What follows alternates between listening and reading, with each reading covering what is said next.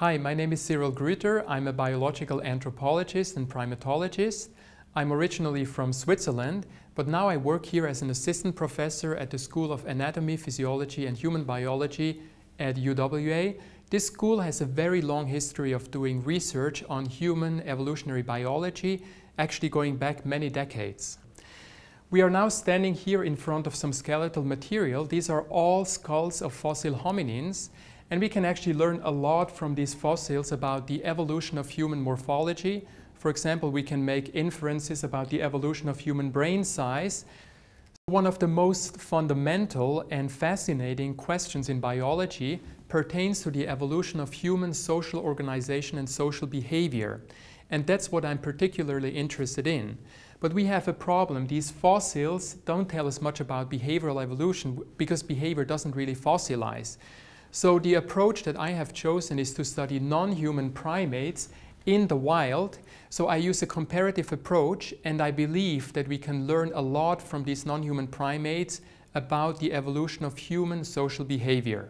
I do a lot of field work. For example, for my PhD, I spent about two years in a remote corner of China near the Himalayas doing research on the black and white snub-nosed monkey, an endangered primate. I was actually the first Westerner to work in that particular area. This was a very challenging project. There were a lot of logistical and bureaucratic um, obstacles that we had to overcome, but in the end it was a very rewarding experience. And after finishing my PhD, I moved on to do a postdoc at the Max Planck Institute for Evolutionary Anthropology in Germany, and I had the privilege to spend almost two years in Central Africa, in Rwanda, um, doing research on the world famous mountain gorillas uh, in the Virunga volcanoes. I actually did my research at the Karisoke Research Center. That's the research center that was founded by legendary Dian Fossey 45 years ago. And this was really a childhood dream come true for me. And both these species, the snub-nosed monkeys and the gorillas, they have something in common. They both live in very rugged, high-altitude environments. And I would say that being Swiss is probably an advantage when it comes to doing research at very high altitudes. So now I have an ongoing collaboration with the Chinese Academy of Sciences and this particular research project is about the um, social organization and social network of these primates and some of the questions that we are interested in are what are the costs and benefits of living in large groups for primates?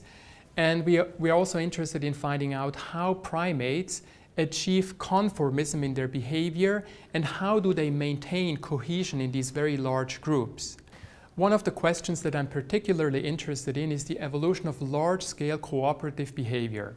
One of the universals of humans are, is the ability to overcome hostility between groups and to establish cooperative alliances with neighboring groups. And I believe that these snub-nosed monkeys are perfect models to understand the evolution of intergroup tolerance because they live in a society where small family groups tolerate each other's neighborhood and get together in larger bands. So basically the same pattern as we see in human beings. I may have given you the impression that I do all my research at very exotic locations, but actually I also have uh, honor students working here in Perth at the Perth Zoo doing research on primate and non-primate behavior and cognition. And I also do comparative analyses. I extract data from the literature and from databases, and I use these data to um, investigate co-evolution of behavioral traits. And I'm really looking forward to my next trip to China to do additional field research on our closest relatives.